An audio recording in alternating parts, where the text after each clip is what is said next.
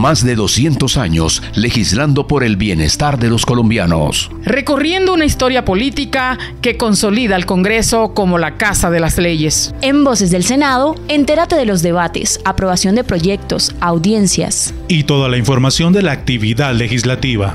Aquí comienza Voces del Senado.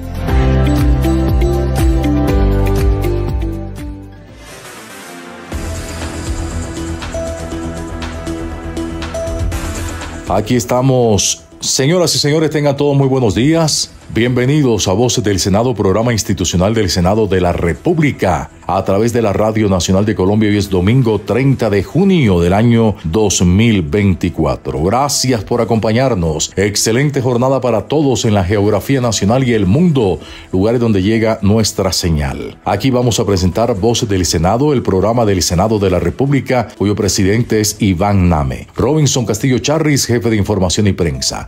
Rodrigo Meléndez, Geraldine Ávila, Alexander Ariza y José Alfredo Fruto les decimos bienvenidos a la información.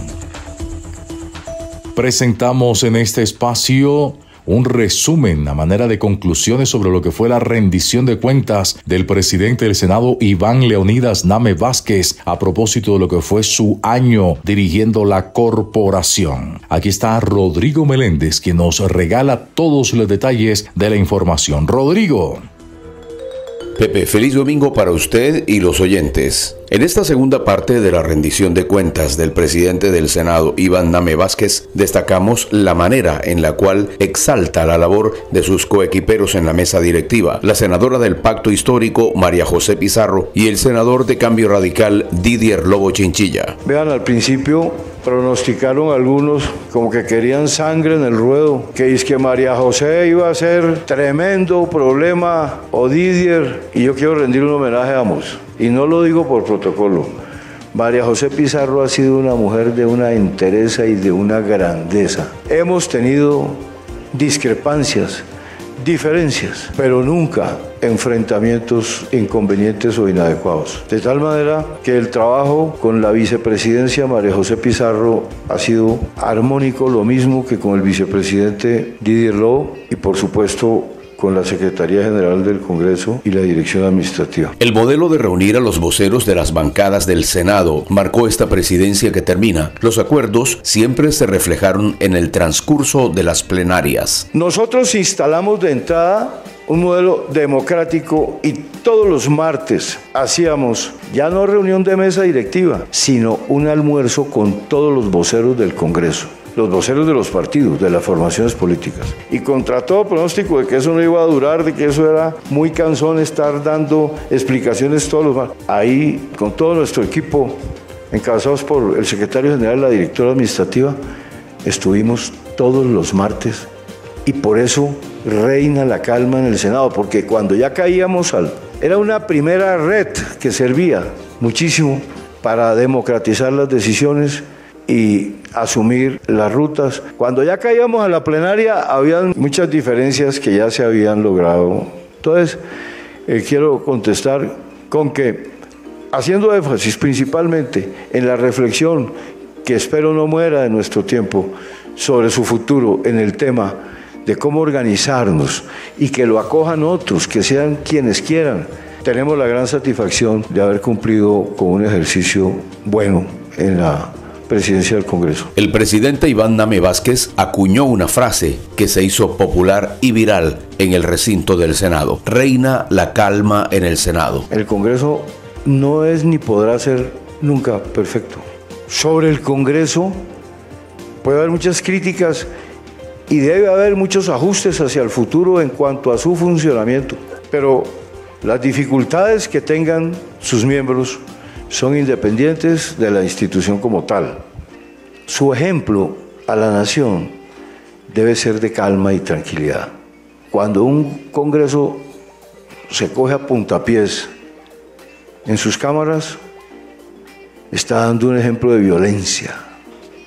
Y eso marca un país y eso produce efectos inconvenientes. ¿Cuánto logramos de tranquilidad y de calma en medio de la típica singularidad de este gobierno y de esta época. ¿No? Entonces, reina la calma en el Senado era una especie de mensaje y yo creo que entre todos logramos mantener calma en el Senado.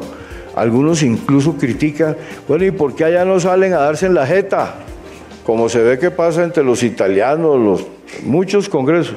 Y bueno, cuando hay que hay discrepancias, hay coincidencias y demás, pero vean ustedes que reinó la calma en el Senado de la República y fue una frase, eh, digamos, tranquilizadora y enaltecedora del funcionamiento de nuestro Congreso. En la rendición de cuentas del Senado de la República es de ponderar la labor que desempeña la directora general administrativa Astrid Salamanca Raín. Ella anotó que han apoyado de una manera dedicada a todas las bancadas, buscando que el Senado de la República se vea presente en todas las regiones. Adicionalmente se mostró muy orgullosa de que gratamente se obtuvo el premio al mejor noticiero público de Latinoamérica con el noticiero del Senado, demostrando que se pueden hacer las cosas y se pueden hacer bien. Finalizó la rendición de cuentas con el secretario general del Senado, Gregorio El Hach Pacheco, poniendo de presente lo importante que es para la vida republicana la existencia de un Congreso de la República e hizo énfasis en la recuperación de la prestancia del Congreso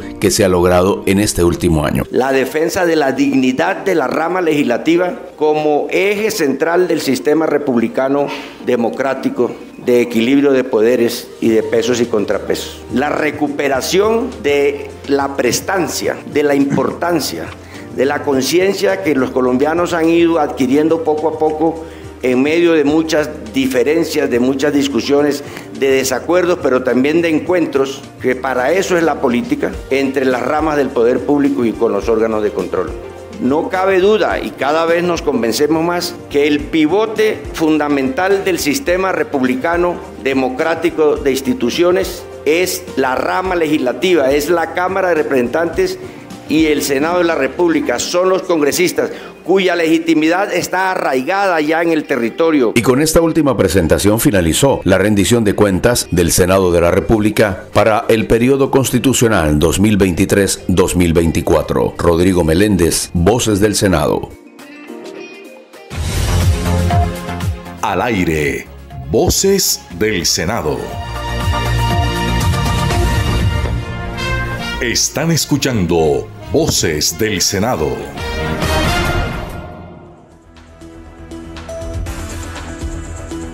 Avanzamos. Muy buenos días. Feliz domingo para todos. Luz verde a la iniciativa que propone la educación socioemocional en instituciones educativas. ¿De qué se trata? ¿En qué consiste? ¿A quién beneficia? Es de la autoría del senador Carlos Julio González, componencia de la senadora Ana María Castañeda. Presenta la información el periodista Edgar Enrique Castañeda. Oyentes, y continuamos con información que le atañe a los padres, a los estudiantes y a los maestros. La educación socioemocional cada vez toma más fuerza en el Senado de la República. La educación mental en el país necesita mayor impulso y este proyecto permitirá que las instituciones públicas del país tengan herramientas para prevenir la deserción escolar y mejorar el ambiente estudiantil, reduciendo así el bullying y dando a los estudiantes habilidades para mejorar sus emociones propias y las de los demás. Así lo afirmó la ponente, la senadora Ana María Castañeda. Es un proyecto de un gran impacto para las instituciones educativas públicas. Eh, por supuesto también la pueden adoptar las universidades en medio de su autonomía, pero la idea es que podamos mejorar el ambiente estudiantil, prevenir la deserción eh, escolar, prevenir suicidios, porque tenemos que preparar a nuestros niños desde la primera infancia a ser unos sujetos que puedan responder socioemocionalmente. Y creemos que debe ser una transformación desde el cuerpo docente, que exista la atención necesaria para que eh, los estudiantes puedan, puedan tener ese acompañamiento, detectar los problemas a tiempo. Y es un proyecto pues que mm, en los PEI va a incorporar todo el tema de la educación socioemocional. Le faltan por supuesto varios debates, está haciendo su recorrido en el Congreso, sabemos que se, se va a ir robusteciendo en la medida que pase por las diferentes comisiones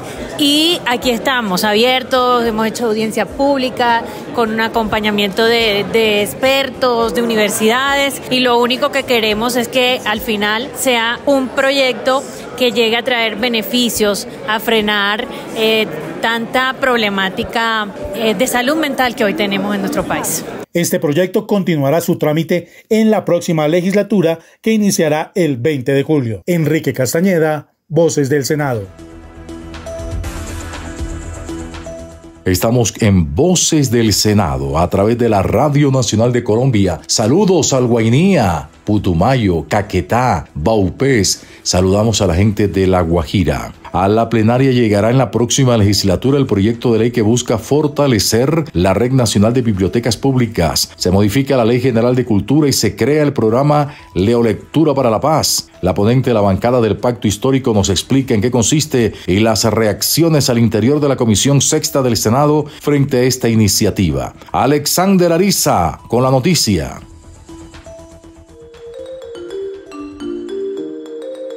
Pepe Oyentes, muy buenos días, pues con el objetivo de fortalecer los hábitos de lectura no solo en edades tempranas, sino para toda la ciudadanía, se dio vía libre en la Comisión Sexta un proyecto de ley que apunta a robustecer la Red Nacional de Bibliotecas Públicas, además de modificar la Ley General de Cultura y crear el programa Leo Lectura para la Paz. En palabras de la ponente, la senadora de la coalición del Pacto Histórico, Sandra Jaimes, la lectura es una herramienta muy valiosa en la construcción de la paz y la erradicación de las violencias estructurales que por décadas millones de colombianos han tenido que padecer. El presente proyecto de ley tiene por objeto fortalecer la Red Nacional de Biblioteca Pública y la creación del programa de lectura para la paz que genere hábitos de lectura estimulando el desarrollo afectivo, cognitivo, y de habilidades comunicativas, garantizando el derecho al acceso al conocimiento de la ciencia, la técnica, el arte y la cultura local, nacional e universal como mecanismo de realización de un pleno desarrollo de los colombianos. Pues si bien es cierto, una de las mejores habilidades para todos los seres humanos, la habilidad de la lectura. ¿Por qué? Porque la lectura es esa habilidad que genera desarrollo de muchas otras habilidades y permite que las personas adquieran conocimiento y desarrollen todas sus otras habilidades cognitivas eh, eh, de manera que lo hacen de manera autónoma y en los momentos que eh, ellos consideren y tengan los espacios. El proyecto, respaldado por los integrantes de la comisión, continuará su debate en la plenaria. Alexander Ariza, Voces del Senado. Invitamos a esta hora a la Radio Nacional de Colombia en su programa Voces del Senado al jefe de información y prensa de la corporación Robinson Castillo Charris. Habla con la senadora de la coalición Pacto Histórico Sonia Bernal sobre su trayectoria, sobre sus gustos, qué la llevó a aspirar a la política, cómo se ha sentido en el Senado de la República. Robinson. Hoy como invitada la senadora Sonia Bernal, recién llegada a la corporación. Senadora, bienvenida no solamente al programa, sino a esta entidad. Sí, muchas gracias. Me he sentido muy a gusto. Me han llamado la nueva y pues así me siento como nueva siempre. O sea, como primíparo cuando uno entra a la universidad. Sí, pero, pero además entras eh, a mitad de, de, año. Sí. Ya todos tienen uniforme, ya tienen todos pupitre, así más o menos. Pero, pero bien, precisamente creo que la adaptabilidad al cambio es lo que nos permite la sobrevivencia de la humanidad y creo que eso es lo que me ha caracterizado a mí, la posibilidad de adaptarme muy rápido. Oiga, senadora, nacida en Agua Azul, Casanare. Agua Azul, pegado. Sí, Agua Azul, así de, de, seguido. Ajá, Agua Azul, Casanare, yo nací en una familia, la madre, digamos, ella eh, dedicada a su casa, pero activista, defensora de, de causas y mi padre sí profesional, empleado del Banco de la Caja Agraria. Al final del tiempo de sus vidas, de sus años, ellos dos agricultores, trabajadores del campo. Soy la mayor de cuatro hermanas y, y bueno, nací en un pueblo muy lindo que tuvo un proceso de transformación enorme, gigante. Y eso pasa cuando yo tengo más o menos 12 añitos o un poquito más, más o menos, es cuando sale el, tal vez unos 15 añitos, sale que en Agua Azul salen los pozos petroleros de Cupiagua y en Tauramena de Cusiana, es decir, de un momento a otro en Aguazú y en el Casanare nos volvemos ricos. un cambio drástico. Claro, porque somos unos municipios relativamente nuevos. Casanare es un departamento relativamente nuevo, de una vocación agrícola, pecuaria, y se vuelve de un momento a otro de la industria petrolera. Entonces, eh, viví en mi adolescencia realmente esa, esa transformación. Ese es el municipio de Agua Azul, este es el departamento de Casanare. Senadora, ¿cuál es su recuerdo más nítido de su natal Agua Azul? Varios, varios, de, de mi Agua Azul y de la formación en mi casa. Eh, las, las órdenes y los mandamientos categóricos de mamá, sobre todo.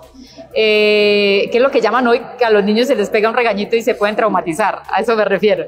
No, esos llamados al orden de mamá, eh, pues yo era la, yo soy la hija mayor, entonces con, conmigo además ensayó más.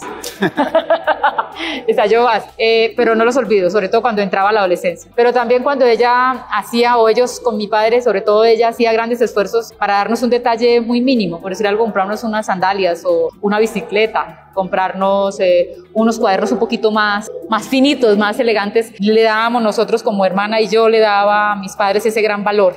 Tiago Azul puntualmente lo recuerdo cuando de niña pues pasaba eh, esas, esas calles eh, despavimentadas eh, y se inundaba, en el llano llueve muy duro, muy fuerte, cuando llueve, llueve de verdad, para Dios, y hacían esas grandes huecos, uno los llama chambas, esa es la verdad, Ajá, para meter las tuberías este, y tocaba pasar eso para ir a la escuela, para ir al colegio, para ir a una de las compañeras. Eh, lo recuerdo así, eh, un, un, municipio que estaba en permanente desarrollo y por eso nuestro municipio hoy es un municipio muy desarrollado. Muchos recuerdos, ¿no? De, de, de lo que es el hogar, de lo que es vivir en un pueblo, sin dejar de decir, por ejemplo, ir 25 de diciembre y primero de enero al río.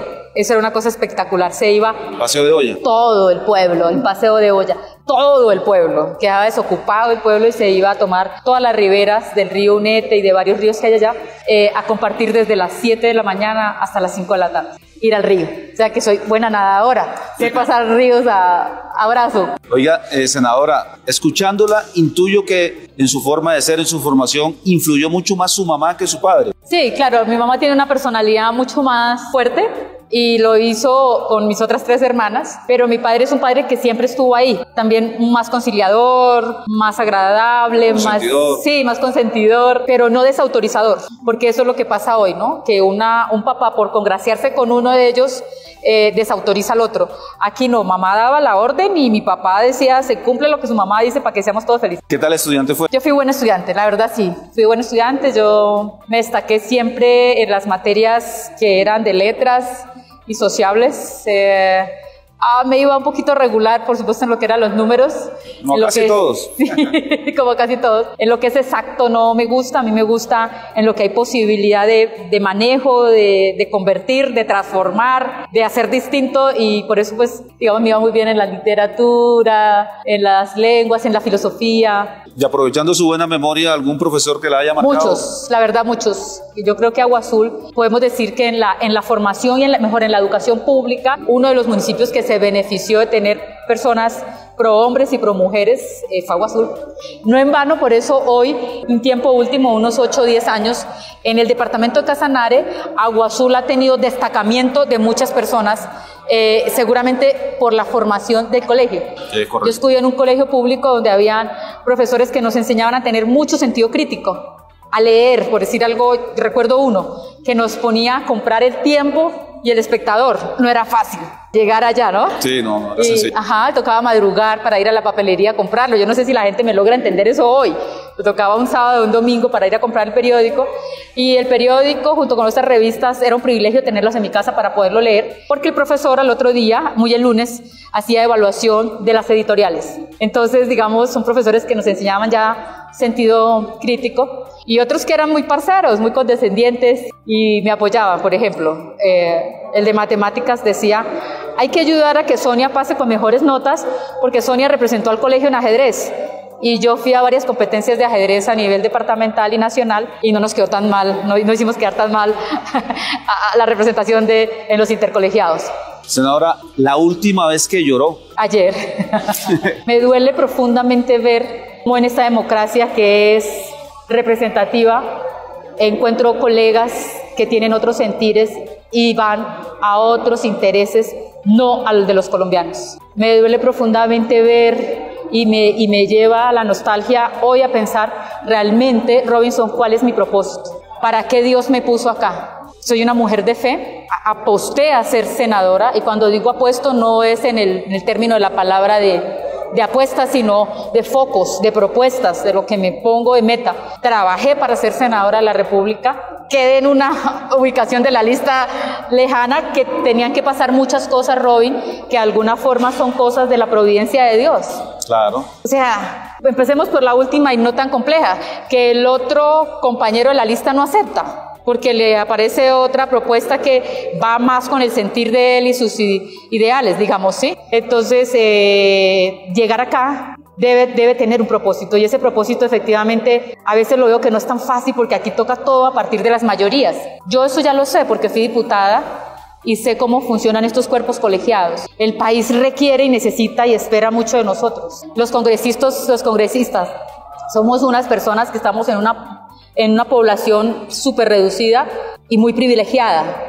El compromiso no puede ser menor a que tengo que votar y me salgo del recinto para no votar, como sucedió con algunos compañeros. A nosotros nos hacemos elegir para votar. Ah, bueno, usted vote sí o vote no, pero tiene que votar, pero que se salga para no votar. Ayer lloré porque yo dije, Dios, ¿para qué me tienes acá? Dame la fuerza y al Espíritu Santo, dame la sabiduría para que se pueda tener esa tenacidad de saber que a lo que vine acá tiene que impactar a muchos y a muchas. Ya que habla de fe, de su creencia en Dios, en el Espíritu Santo, ¿ha sentido milagros en su vida? Todo el tiempo. El primero estar acá contigo. No me imaginé tener este privilegio. Hoy, es la verdad. El milagro de la vida de mi padre. Mi padre es un milagro por completo. Es completo porque ha tenido todas las enfermedades que ha podido aparecerles. Y hoy con un montón de años pareciera que tiene la salud de un joven, la salud de mi madre, de mis suegros. Eh, los milagros efectivamente de poder adentrarme en propuestas y en caminos difíciles que no me los han recomendado muchos, al contrario, me han dicho no se metan eso y poder salir adelante y el mismo milagro de la vida haberme podido levantar y estar hoy acá. Senadora, ¿qué es lo más llanera que tiene que usted diga? Esto me caracteriza, caracteriza como mujer llanera. La belleza llanera. claro que sí. Que el llano es lindo. Y montar a caballo, ¿no? Uno dice, no, el llanero sí tiene que montar a caballo. Claro, pero por supuesto. digamos que el llanero y el caballo son no solo, ¿no? No en vano los centauros de arrojo y valor que ayudaron a la, a la independencia de Colombia son, son los hombres que apoyados de las mujeres primero les dan el permiso para que salgan del llano y se vengan para acá, para Boyacá, a pelear y además les ponen las vestiduras y le dan todos los alimentos que en el llano, por ejemplo, los tenemos como los avíos. Allá se cocina para poder comer 15 días. Es decir, hacer lo que llamarían acá en Bogotá la lonchera, que preparan en la mañana o en la noche para traer acá a los funcionarios al otro día. Allá se hacen los avíos llaneros, que son mucha carne seca, que no se daña, por supuesto, salada, eh, plátano, topocho, arepuelas, ¿no? de una harina y un poquito de dulce, más bien que se endulza con panela y demás, para que el, para que el llanero pueda andar a caballo los 15 o 20 días que hacen los trabajos de llano en los atos. Entonces sí, yo, yo, sé, yo sé montar a caballo, no me dejo tumbar así sea el caballo o la mula más briosa, eh, pero yo creo que lo más llanero mío es la amplitud. Los llaneros somos amplios, somos generosos, espontáneos, tranquilos. Ya que menciona la belleza, eh, ¿es vanidosa? Yo, yo no soy vanidosa, pero me creo toda una reina. no, eh, claro, claro, yo considero que son cosas propias de, del ser humano que quiere verse cada día mejor. Yo valoro cuando las personas hacen su esfuerzo para estar mejor. Eh, no le apuesto cuando la vanidad va en, en, declive o de su mismo patrimonio, de su misma salud o de su misma situación psicológica. Me explico, las personas que nunca están conformes con su aspecto. Por ejemplo, yo me dejé las canas y esa es la sensación. no, yo me dejé las canas porque, oye, es también vivir un poco al natural y aceptarse lo que viene y, verle la gracia a lo que uno tiene. Entonces, sí, cuidarse un poco en el sentido de la vanidad Sí lo soy. Y me gusta que las personas, ustedes, los caballeros, eh, las demás mujeres, yo ayudo a impulsar siempre que la, las personas que me rodean siempre den lo más y lo mejor y se sientan como tal. Es decir, como lo dije, se sientan unas reinas y unos príncipes completos. ¿Cuál es su concepto de la felicidad? La felicidad es la lucha permanente de encontrar una tranquilidad en sí, o sea, es una lucha permanente para estar tranquilo. Es decir, a mí me da hoy felicidad porque, bueno, lo que he hecho en el transcurso ya de todo el día me permite saber que he cumplido. Eso es, la, satisfacción del deber cumplido es lo que a mí en realidad me da, eh, me alegría, me siento como felicidad. Tiene dos hijos perrunos. Sí, bellos. Uno ya un señor, él se llama Jack, es un labrador, y Matías, lo llamamos Matis. Este es más bebé y él es un, es un golden retriever son bellos, nos acompañan. Eh, estos, estos, estos hijos, como lo llaman ahora, estos hijos perrunos, este, lo entretienen a uno y de verdad que se sienten como esas energías buenas de, de, esos seres que son tan queridos y que aprecian que uno los, que los valore. Sin embargo, en la finca tengo cuatro perros más y ellos son igual de bellos. Uno de ellos es Tigre, que como su nombre lo indica, es el duro en la finca. Senadora Sonia Bernal, muchas gracias por acompañarnos. A ustedes, como siempre, muchas gracias por su compañía. Nos encontramos en una próxima oportunidad. Chao. Señoras y señores, gracias una vez más por acompañarnos. Qué bueno que estén con nosotros siempre aquí en la Radio Nacional de Colombia, la radio pública de nuestro país, con la información que genera una de las tres ramas del poder. Se trata del Poder Legislativo, el Senado de Colombia, el Congreso de la República. El presidente de esta corporación es Iván Leonidas Name Vázquez. Robinson Castillo Charris, jefe de información y prensa. Gracias en nombre de Rodrigo Meléndez, Alexander Ariza, Geraldine Ávila y José Alfredo Fruto por su compañía, por estar con nosotros, por su respaldo, agradecimiento eterno. Hasta entonces, permiso.